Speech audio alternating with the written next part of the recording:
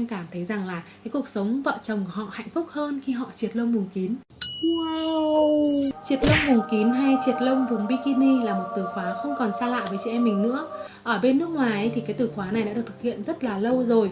Tuy nhiên ở Việt Nam có thể là phong tục tập quán này thì chị em mình còn hơi e rè Nhưng mà dạo những năm gần đây thì nó được nhắc đến rất là nhiều rồi. À, Tuy nhiên khi triệt lông vùng kín này thì chị em mình thường bị mắc phải.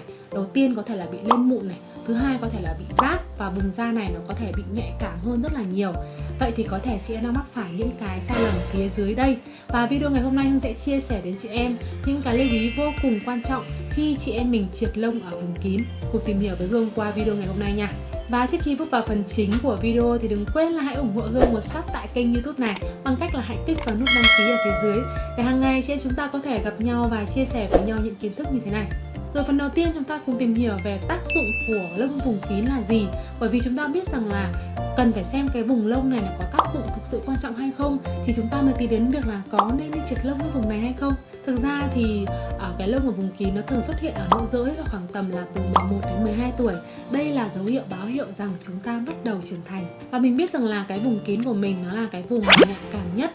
Vì vậy, cái vùng lông này nó được sinh ra để khiến cho cái vùng kín của mình nó đỡ bị ma sát vào quần áo tức là cái lông ở vùng này nó sẽ hỗ trợ chúng ta bảo vệ cái da ở vùng kín này tốt hơn. Ngoài ra thì vùng lông này cũng sẽ khiến cho chúng ta tránh bị các loại vi khuẩn xâm nhập vào và tránh bị cọ sát này, hay tránh bị lây nhiễm các loại vi khuẩn nữa.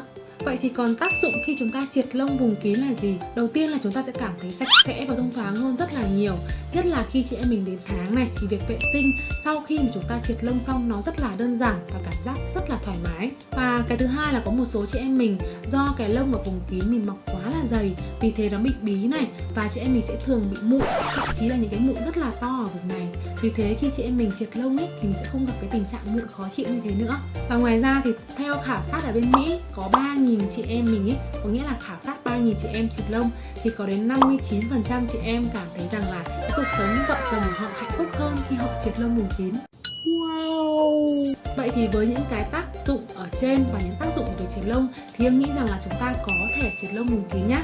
Tuy nhiên chúng ta hãy có những cái lưu ý phía sau đây để chăm sóc và để chú ý quan trọng khi chúng ta triệt lông. Thực ra triệt lông chúng ta có thể hoàn toàn tự thực hiện tại nhà được, Có thể bằng những cái sản phẩm triệt lông watt này chúng ta mua này, Hay có thể là những cái máy triệt lông mini tại nhà này, Hay có thể là đến spa để triệt lông nha.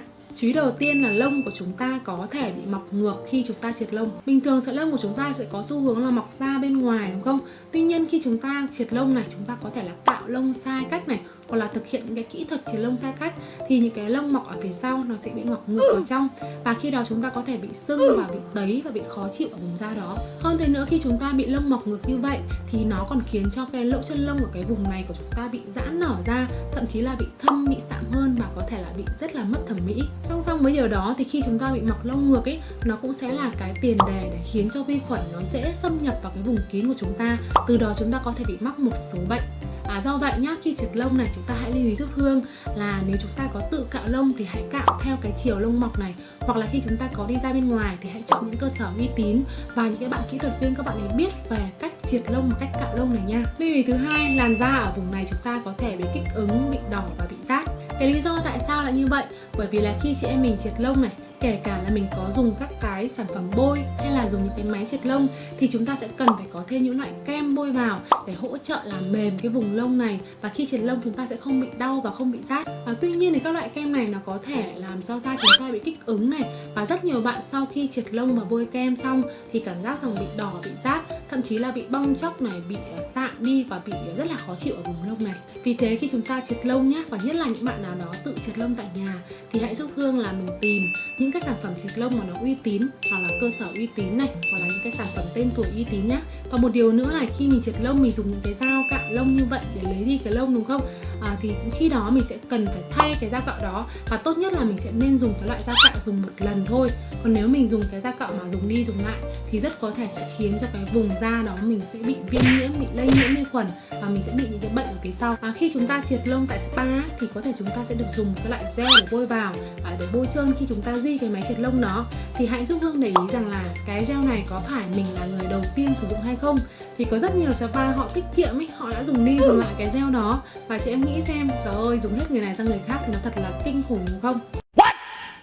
Và thêm nữa là những cái gel này thì có thể là họ mua những cái sản phẩm mà nó không phải là sản phẩm tốt cho da thì nó có thể khiến làn da của mình bị kích ứng rồi lưu ý thứ ba là chăm sóc cái vùng da của chúng ta sau khi triệt lông. Như đã nói ở trên thì vùng da ở vùng kín này là một vùng da rất là nhạy cảm.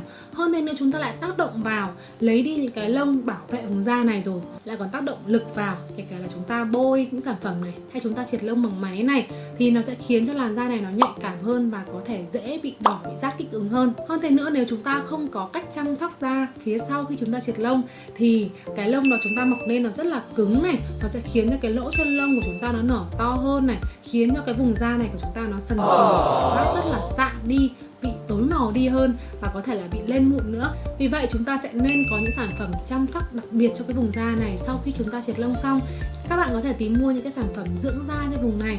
Nhưng mà những sản phẩm này sẽ là những cái dạng mỏng nhẹ thôi nhá. Là dạng gel, dạng lotion này. Và trong thành phần có thể chứa như là lô hội này, rau má này, hay là B5 này. Những cái thành phần rất là dịu nhẹ cho làn da. Và thực ra chúng ta cũng không nên bôi quá là nhiều lần.